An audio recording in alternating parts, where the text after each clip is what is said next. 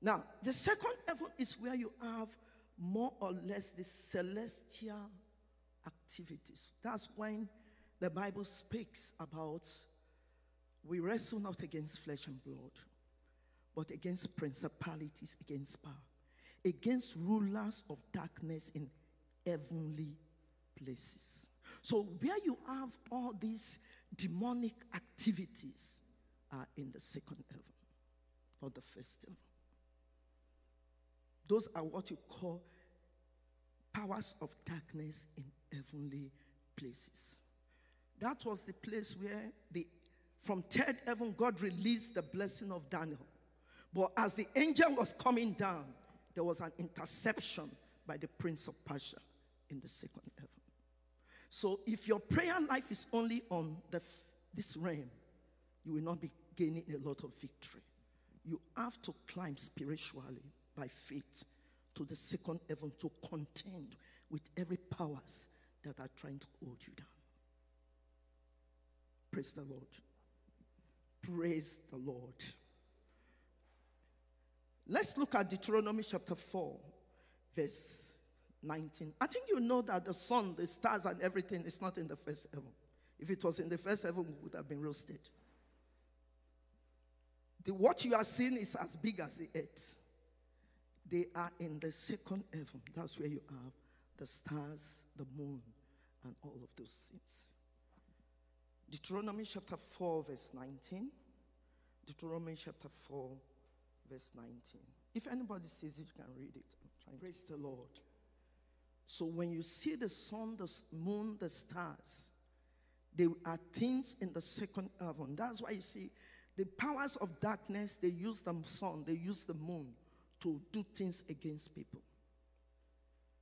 When they want to destroy some people, they go and make manipulations with the powers of the sun and the moon.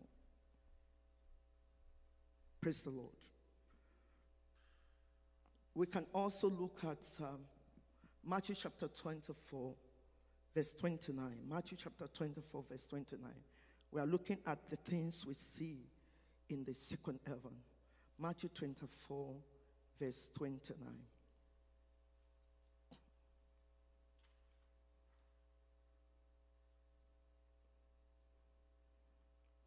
The word of God says, immediately after tribulation of those days, shall the sun be darkened and the moon shall not give a light, and the stars shall fall from heaven, and the powers of the heavens shall be shaken. Talking about when the great tribulation will come. The powers of heaven shall be shaken when these things fall from heaven. But we know when Stephen was being killed, he said, I saw the heaven. Let's look at it. Acts chapter 7, verse 55. Such a beautiful that I saw the heavens open. So a portal was open, a revelation was open to Stephen. And he saw the heavens open. A revelation was given to Stephen in the place of death. But he being full of the Holy Spirit, showing something. You cannot be able to see revelations about the heavens of heaven without being in the spirit. Because with your ordinary eyes, you cannot see it. So you have to be in the, you know, in the in the spiritual realm to see it. It said, verse 55, but he being full of the Holy Ghost, looked up steadfastly into heaven. Take note. First, he looked up into heaven, what he can see, and saw the glory of God and Jesus standing on the right hand of God, and said, Behold, I see heavens open. You can see that means I saw I, I am in a portal that the portal passed through the first, second heaven. I now see Jesus in what? That's why I say I see heavens open. I see heavens open. Praise the Lord. And the Son of Man standing on the right hand of God. I see heavens open. And the Son of Man standing at the right hand of God.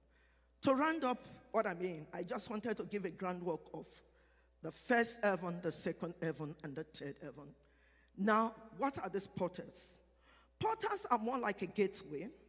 Portals are more like a channel where God gives you things to see or revelation or provision or anything. So it's a channel where things go up and come down. One of the portals we saw is in Genesis chapter 12, verse 28, there, when Jacob was sleeping and he put a stone on his head. Not knowing that before then, the father Abraham, the grandfather Abraham, has built a portal, has built a place there, which they call Bethel, the house of God. So a family can build a portal based on prayer. You know, a church can build a portal. You know, some people, you are just located in a place, suddenly blessings start coming your way because maybe along the line someone has built a portal there, a place where anytime people appear there, there's revelation, there's blessing, there's something happening to people's life.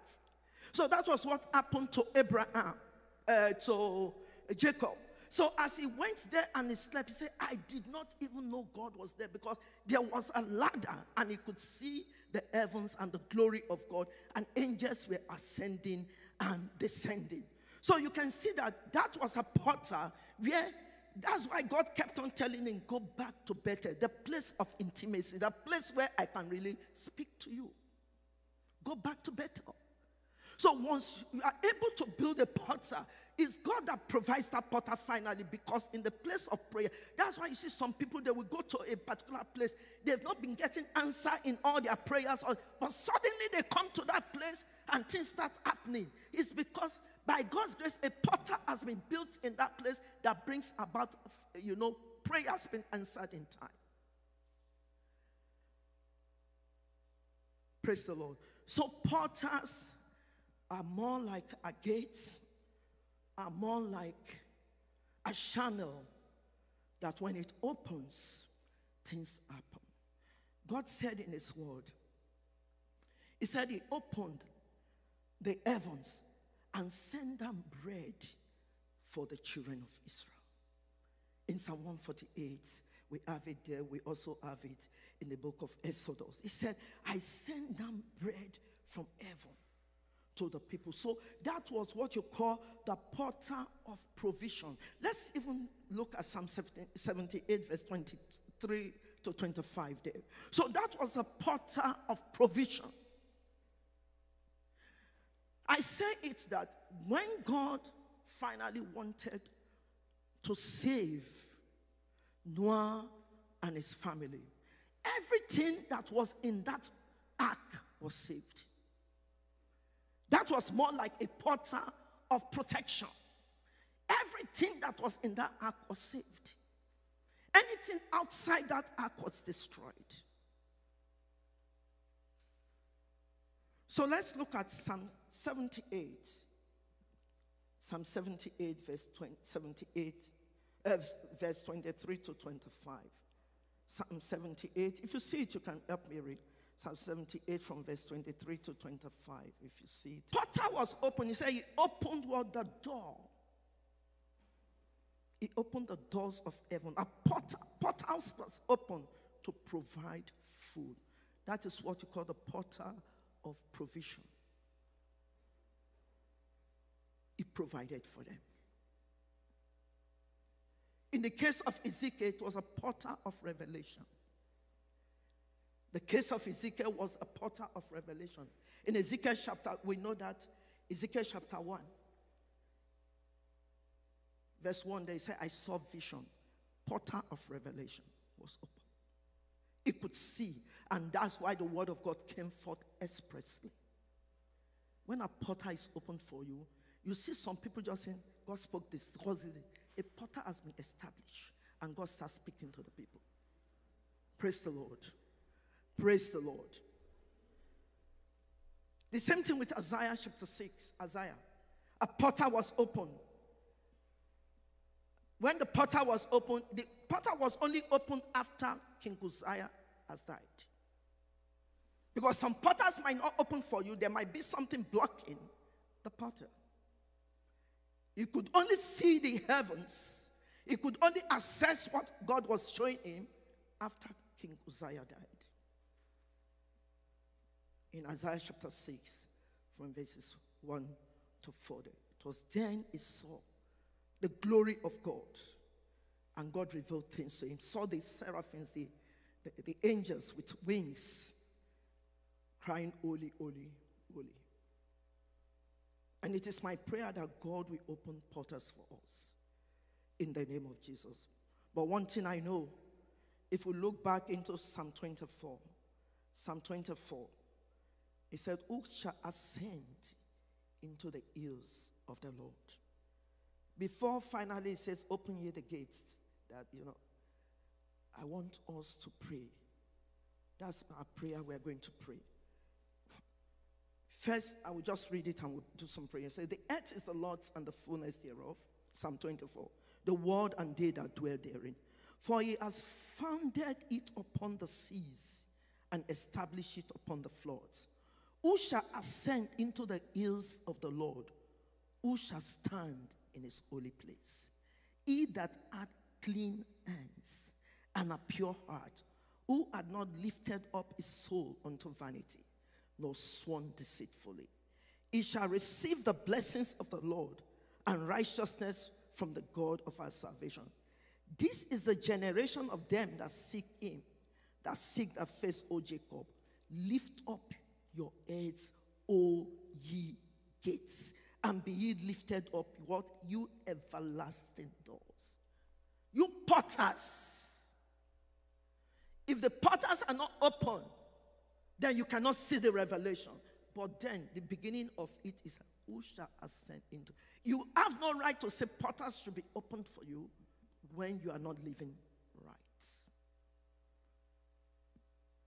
It is those who have clean hands, who have not lifted up their hands in heads unto vanity, that shall receive the blessings of the Lord and righteousness from the God of our salvation. The aim of a portal is to bring about blessings, bring about information, bring about, you know, revelation, bring about things to make things happen for you. And that's why we have to pray that, Lord, whatever is closing my portal, portals are open at God's own timing, but we pray for it. That, Lord, whatever is closing any portal you've opened for me, Lord, open, have mercy and open it in the name of Jesus. Whatever we want to close that portal of provision, the portal of revelation, the portal of supply, the portal of protection. Lord, by your mercy, take it away. That King Uzziah that is making me not to access my heavenly portal, Lord, take it away. In the name of Jesus, I want you to pray. Lord, open the floodgates of heaven. That's the portal of heaven. You let your blessing flood my life and my family. Lord, let your blessing flood this house. Let your blessings flood my home.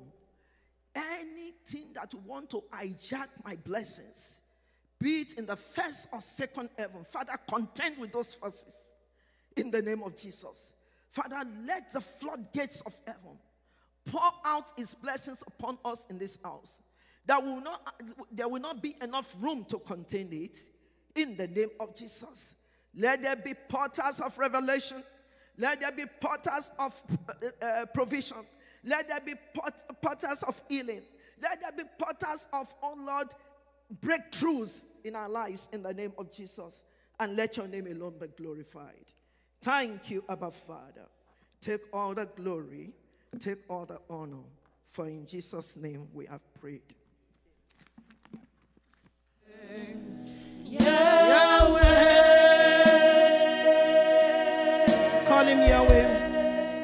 Faithful God. We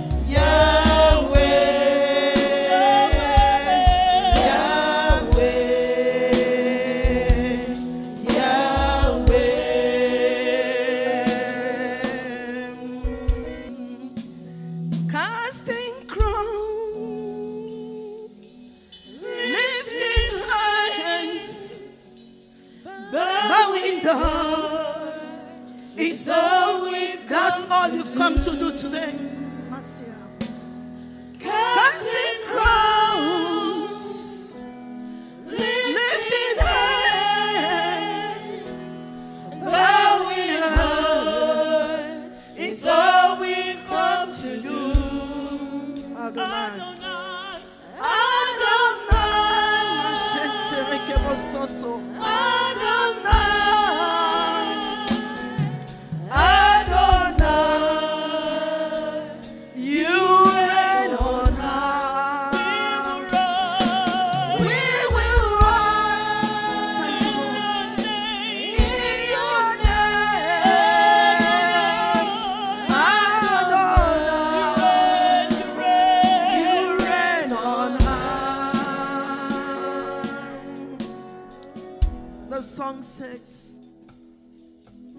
We are going to rise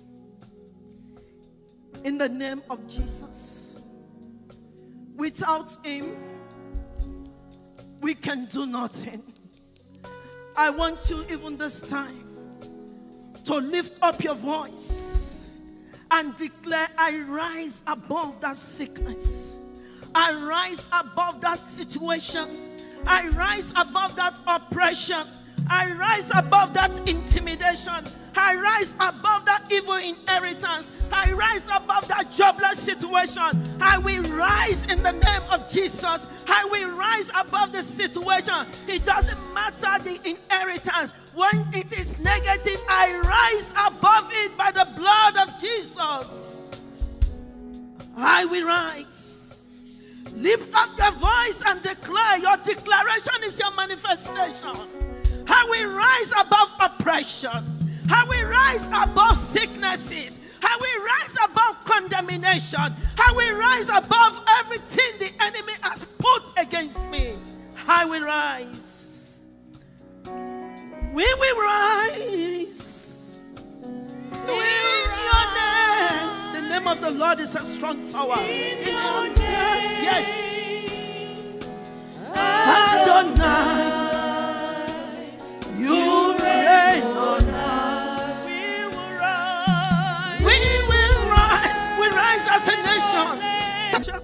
Are you seeing yourself rise? Because when the heavens are open over you, you will have the wings of an eagle. You will rise above condemnation. You will rise above infirmity. You will rise above even inheritance. You will rise above joblessness. You will rise above the oppression of the enemy. I will rise. See yourself. You will rise. You will rise. We will rise. Thank you, Father. Thank you, Lord. Blessed be your holy name forever. In Ezekiel chapter 3, rise. I see someone rising. And I will, uh, and I with dear stood there as the glory of which I saw by the river of Chebar, and I fell on my face. When the heavens open, God speaks to you. Now it's a word, a prophetic word to you and I. It's the time for you to arise and see the glory of the Lord. It's the time for you to arise so that His hands of mercy will lift you up and you are able to overcome those situations in your life. He said, And the hand of God was upon me. He told me to arise. I want you to tell the Lord, Father, let your hand of mercy be upon me and take me beyond my widest pedestal. Let your hand of mercy be upon me and put an end to mockery in my life. Let your hand of mercy be upon me and put an end to every form of oppression. When the hand of Jesus, I want you to tell the Lord, when the hand of God is upon you, you speak to dry bones. Ezekiel 37, and they receive life. What is that situation that seems like a dry bone in your life? Ezekiel 31, eh, 37 from verse 1. I want you to start prophesying. Your mouth is your secretary. I, I usually tell you, the heavens are open over you. I want you to take a prophetic stand. There I shall decree a thing and it shall come to pass. I want you to declare, Father Lord, concerning my children, concerning my family, concerning my health, concerning even COVID 19, we speak, we take a prophetic stand that Lord, you will put an end even to this pandemic in the name of Jesus. Put an end to every dry bone situation concerning my life, concerning my family in the name of Jesus. I want you to pull down the stronghold of the enemy that has made you not to leap forward, that has made you not to move forward. I want you to pull down every stronghold of unbelief, every stronghold of oppression, every strong God of disbelief. Anyone, any pull down the stronghold, every wrong mindset, everything the enemy has used against you, pull it down in the name of Jesus. I pull it down. I pull down stagnation. I pull down oppression. I pull down intimidation. I pull down everything the enemy has fought against me. I pull it down. Every barrier, any visible mark that the enemy has put that I will not progress in life, I pull it down by the blood of Jesus. That's our declaration. We pull down, we pull down, we pull down. We have access into the heavenlies. Every King Uzziah that has blinded my eyes not to see the heavens open, let them die. Let them die. Whatever desire, it might be joblessness, whatever it is, every Uzziah that has not made you to experience an open heaven, they have to die. It might be joblessness, it might be visible, it might be invisible, but they have to go for you to be delivered. In the name of Jesus. Thank you, Father. Thank you for liberation, oh Lord. When we arise, prophetically we move forward. I want you to take a prophetic step. I don't know why God is telling me. Take a prophetic step and move forward. Move forward. See it, see it, see. You move forward. Move forward. Advance against even the plans of the enemy. You move forward. I see you moving forward. I see you leaping over those situations, over those barriers in Jesus' name. Thank you, Father. Give a clap offering to the Lord if you know you've received it. Hallelujah. Give a clap offering to the Lord. You, prophetically, you've scaled. You have moved forward. Thank you, Father. God bless you. Lord, we thank you for answers to prayer. God bless you.